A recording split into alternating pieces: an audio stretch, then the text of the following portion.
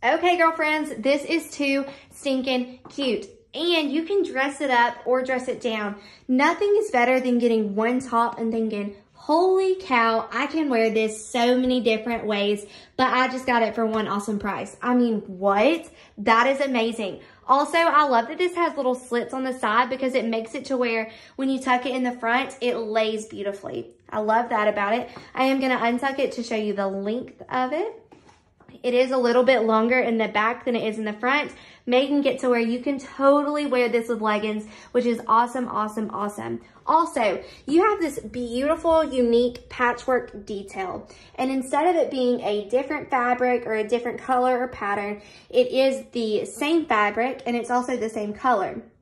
So the reason they put they put this patchwork right here is just to give it a risen detail to make this shirt unique, to make it like just more detailed and just so like just to make it more cute. It's so stinging cute to have that little patch right here on the other side and then also in the center of your chest.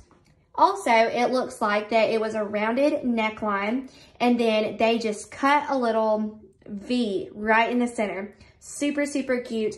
And then you have a hemline. It's an exposed hemline that lines the neckline and then also that lines the top of the sleeve. So that is super cute. I like that it's risen and just that exposed hemline. It gives it a different look and just a very beautiful and trendy look.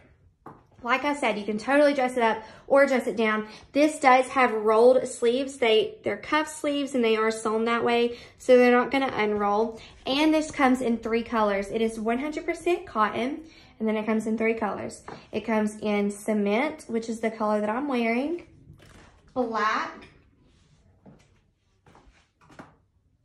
so cute, and wine. I love the wine too. Very, very cute, guys. These are to sell out super quick. They are true to size. I'm wearing a size small, and I'm normally a small. Make sure to comment as soon as this is posted, ladies.